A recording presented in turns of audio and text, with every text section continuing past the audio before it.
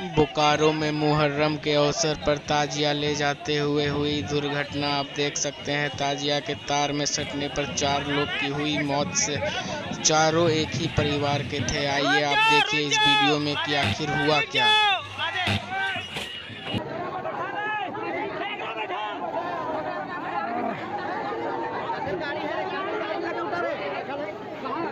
बोला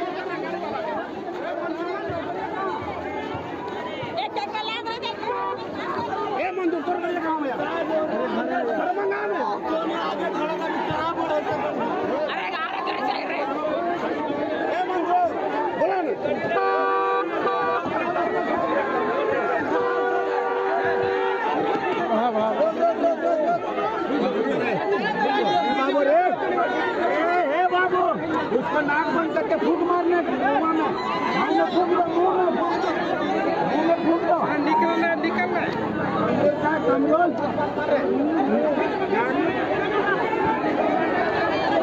अरे और गाड़ी ना है?